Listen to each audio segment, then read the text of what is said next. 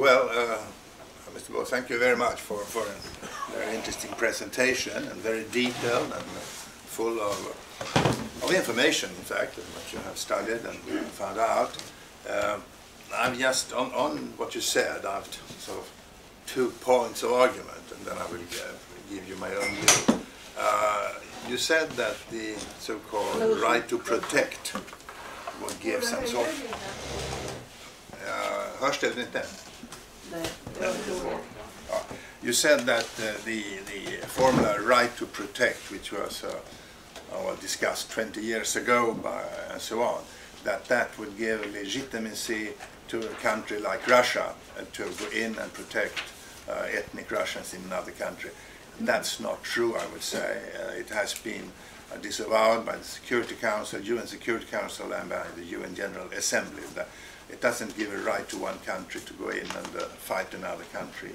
And again, and you said, you indicated that, the, uh, the sort of idea of Mr. Putin to recognize the two uh, so-called republics of Donetsk and Lugansk and then say this is Russian territory and this gives us a right. Uh, this is also, well, it's not correct under international law.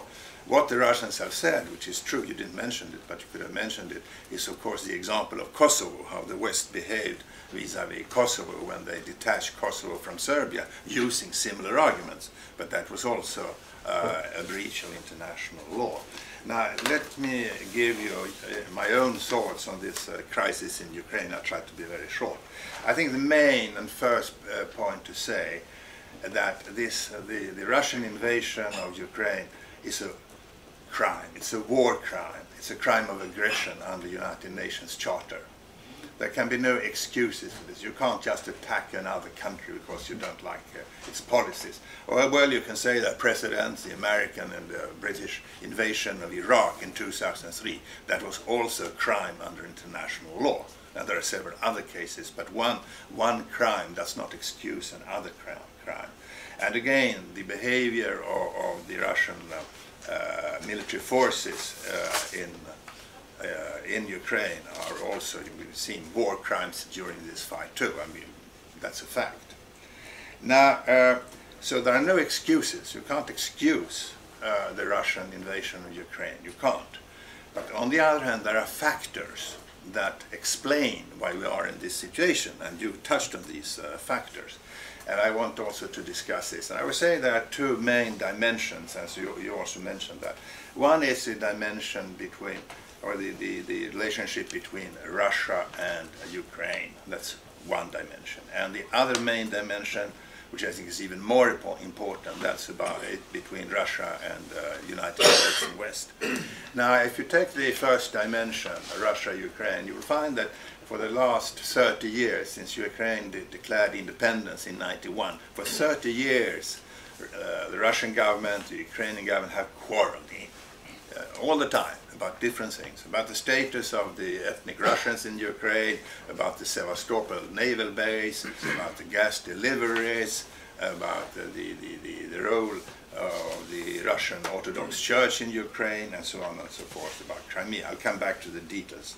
But I mean, for 30 years, and there are at least 12, 15 different quarrels that's been gone, going on between these two countries, and also touching the identity of Ukraine, of course, and the history of Ukraine. Now, on the other dimension, the dimension between between Russia and the United States, this has a uh, even I would say it has a history of 75 years. It's a confrontation that has been uh, on and off since the end of the, of the Second World War, since 1945, and certainly since uh, NATO was founded in, in 1948.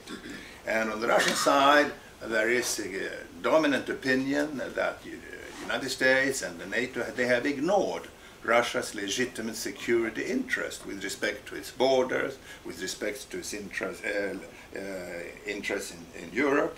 And all the time NATO have, with its bases, its force structure, come closer and closer to Russian border. And the Russians have said, well, uh, we don't like this. We, we, we, we would like to have other sorts of agreements and understanding with the West, but they have been, been ignored. And you also have the Russian, the, the NATO's military uh, missile installations in Romania and, and in, in, Poland.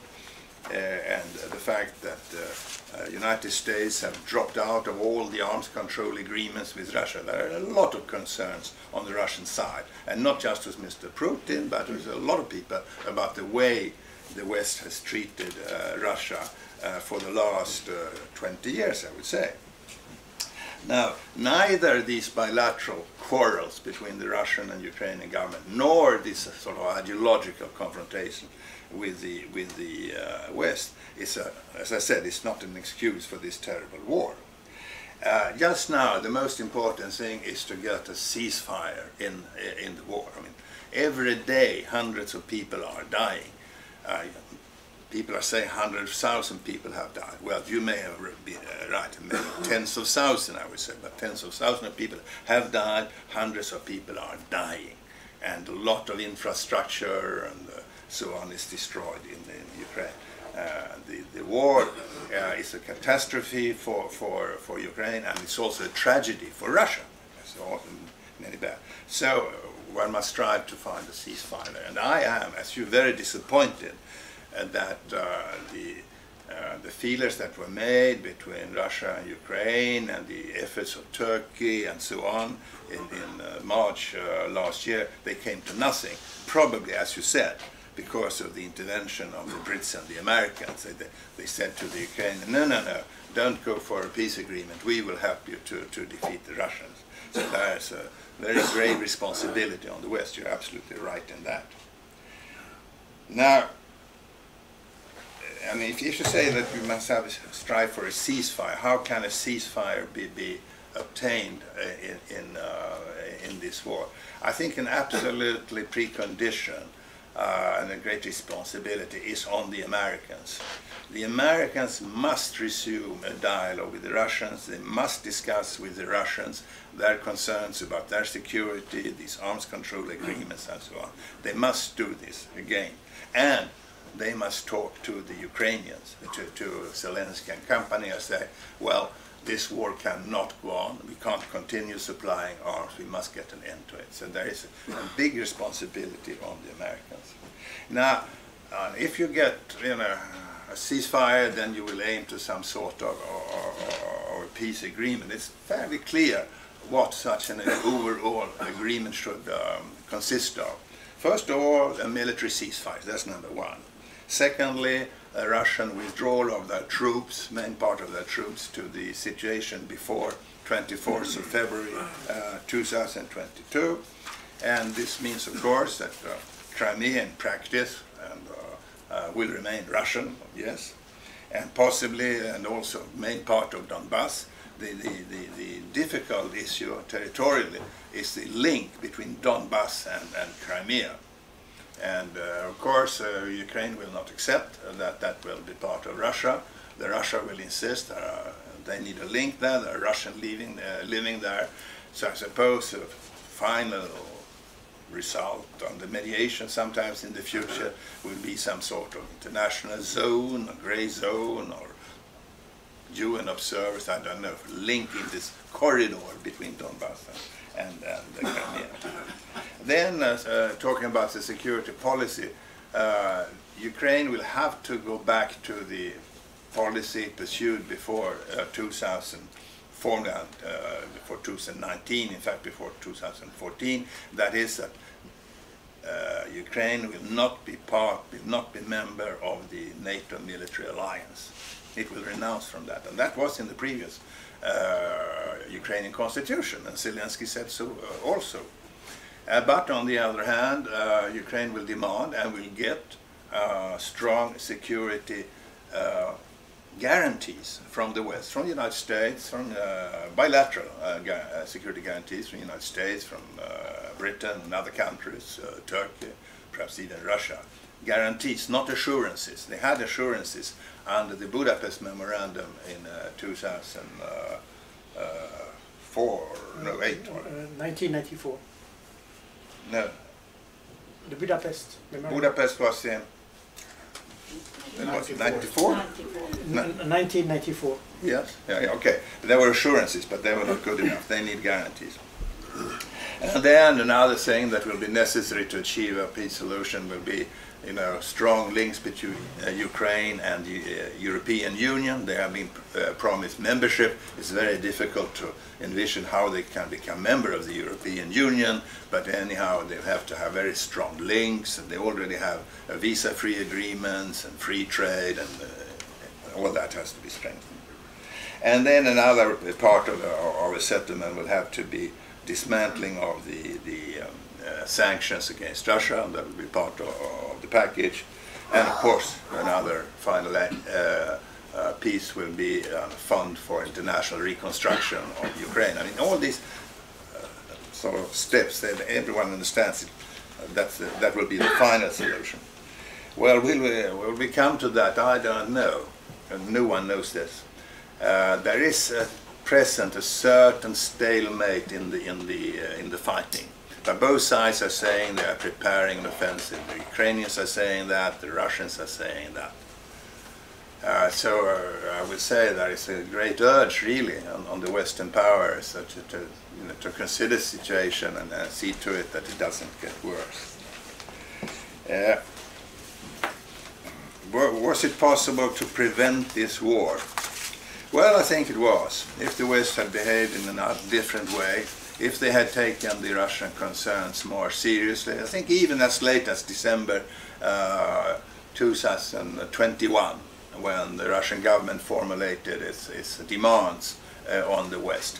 If they had been taken more seriously by, by the West, not this question about membership of NATO, but the other issues about uh, arms control, uh, ex military exercises, uh, missile deployment, and so on. Uh, but nothing came of that, and, and then the war started. Uh, another precondition for, for, for a solution, or for, for movements to, to a solution, would be that there would be less of press conference diplomacy and public diplomacy. Now everyone, you know, Biden, Blinken, Zelensky, Putin, everyone are saying these are demands and so on. You don't achieve peace by that. You'll have to do it uh, uh, through, through uh, dialogue, silent uh, diplomacy, back-channel contact. That was the way the equally serious Cuba crisis in 1962 was solved, not by these sort of uh, public statements that sort of uh, makes the situation even worse. Uh, in, at least in Sweden, uh, there's a great deal of debate, and in many other European countries. Well, uh, Russia is, is aggressive, Russia is an imperial state, that they attack uh, the Baltic states or the Scandinavian That is just rubbish, of course, complete rubbish.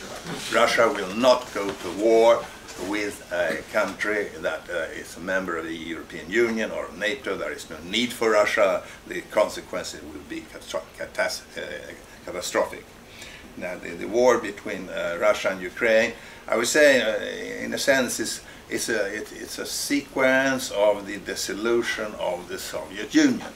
I served in in in, in, um, in Moscow between '94 uh, and 2004, and I've well, I've been dealing with security policy all my life. And if you uh, think back at uh, in the beginning of the 90s and the war in Yugoslavia, when then the war, when Yugoslavia, Yugoslavia was dissolved, so to speak, war started immediately among the republics. And when the Soviet Union collapsed, everyone said, oh, well, no wars. But I mean, the contradictions were there. And the wars we didn't see, or the conflicts we didn't see in 91, we see them now. We saw it in Georgia 2008, we saw it in Maidan 2014, we saw it in, we see it now in uh, 22. And they have deep roots. But uh, let me go back uh, a bit to, to the um, uh, issues between Russia and Ukraine. There is this uh, different views on the identity of Ukraine. Is U Ukraine or was Ukraine a different, uh, a different historically different realm, so to speak, uh, or was it was was it for hundreds, 200, 300 years, just a part of Tsarist Russia, all the regions east of the Dnieper rivers. And there, during these uh, Tsarist periods, these, there were Russian gubernia, this was Kharkovskaya, Poltavskaya, uh, Khersonska, Azovska gubernia, just uh, ordinary parts of the Tsarist Russia, and this uh, lasted for a very long time, 200, 300 years. Uh, and this sort of identity issue is of course very crucial and you know the history that Western Ukraine, what we now call Western, Western Ukraine was for first couple of hundred years was part of Poland, Lithuania and after that it was part of the Austrian-Hungarian uh, Empire. So there are, uh, it's, it, it's a region that has been uh, with shifting borders and shifting uh, um, masters. Now, uh, another, uh, of course, uh, equally uh, difficult issue between the two countries uh, is Crimea, and particularly the naval basis of Sevastopol. Crimea became uh, Russian in 1774, something like that, when they defeated the, the Ottoman Ottomans and took that uh, piece of land, and then it was very important. The Crimean War in, in 53 became a hero state, and then the Second World War. And Sevastopol and the naval base is absolutely crucial for the Russian Navy, for uh, its operations in the Black Sea and in the, in the uh, Mediterranean. And I remember back in 2002, 2004, the Russians were saying to me that if the Ukrainians tried to evict us from Sevastopol, that would be a casus belli that will be a question of, of war and peace.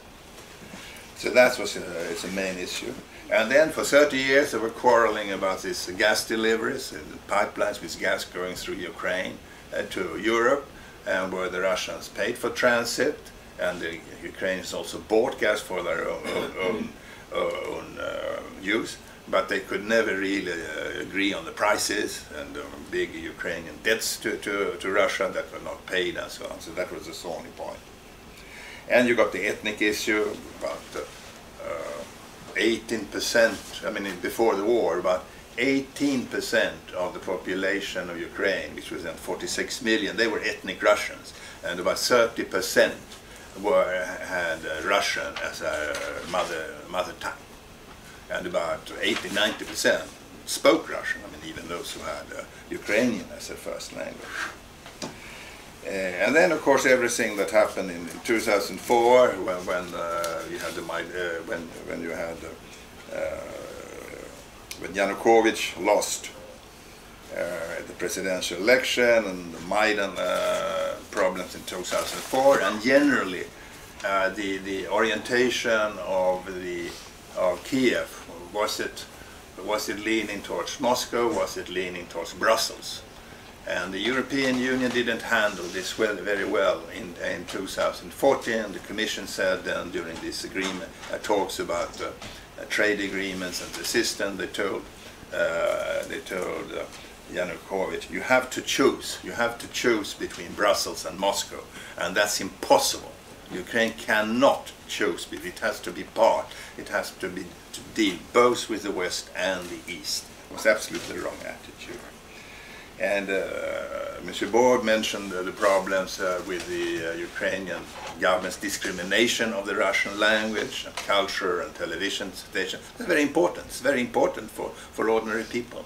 And now you have the church issue. The latest is uh, that the, the, fight between the different Orthodox churches in Ukraine uh, and the most precious thing there is the Lavra monastery in Kiev, uh, which is uh, one of the most precious uh, Orthodox churches in the whole Slav uh, world, and where the Kiev government now tries to take it over from the Russian Patriarchate, and that's very explosive issue. you have the Azovska Sea of Azov and, and the, the navigation there, also very thorny issue. And again, uh, the Russian fear that uh, in the end, uh, or that the main aim on the western side is to build up Ukraine as a base area for uh, possible military operations against Russia, even if it's not member of NATO. So there are a lot of concerns there. Uh, Monsieur Moore uh, mentioned the sanctions. I agree completely with him. I've been against sanctions for, for you know, the last 50 years. Sanctions are very easy to decide. Uh, they practically never lead to, to what's his aim? The change of policy on the other side? No. Uh, it affects negatively uh, the, the population, but not the leadership. Uh, and uh, they create hardship and all this, but they don't change policy. They don't change policy in Iran, they don't ch change policy uh, in Russia, and they don't, uh, and other places. and they will not lead to a regime change in Russia. The Russian population has, in a sense, suffered enough during all the, you know, hundreds of years. They've been worse. They've been through worse times than these sanctions. They've been through Stalin, wars, uh, famine, and all this. Uh, this is just a little more. So it, it, it, the war is not popular, but it will not lead to regime change in in uh, in uh, Russia. Uh, so, and I must say, I regret very much that the European uh, EU Commission have become so militarized as it has become in recent years and concentrating on arms production, arms deliveries. That, that's not really the concept of the European Union that I have, who has been a strong uh, supporter of the uh, EU since uh, the early 60s, or you know, the predecessors of EU. What worries me in particular now uh, is uh, another issue during the Cold War, we talked about a sort of ideological conflict between two worlds. You had the West Europe and United States and so on, uh, market economy, democracy. On the other side, you had communism and uh, Gosplan and all that. Two completely different value systems. Then one said, when the Soviet Union collapsed, oh, fine, now we don't have any ideological conflicts we may have different uh, interests and all that, but we don't have this sharp ideological conflict and warfare that we had and that led to, to uh, you know, uh, different um, fights uh, undercover, so to speak, in the third world. But what we've seen in the last five years, we've seen the emergence of a new ideological conflict when the United States and also West European st uh, states start to talk about a rules-based international order. They don't talk about the UN Charter or international law. They talk about the rules-based international order, which is, you know, these are principles that United States and EU have established themselves. Right, uh, right to protect and various other things that, that serve their interest. We can do what we think is right with respect to human rights and democracy and uh, you know uh, and try to intervene in, in Syria because Assad is a, is a, is a dictator and so on. That's a, uh, a rules-based international uh, system. While on the other side you have Russia, China, Iran, Turkey, possibly Hungary and other countries which are more, how I say, traditional, they insist formally on the UN Charter, formally on international law. Uh, and uh, uh, they are then called autocratic and so on.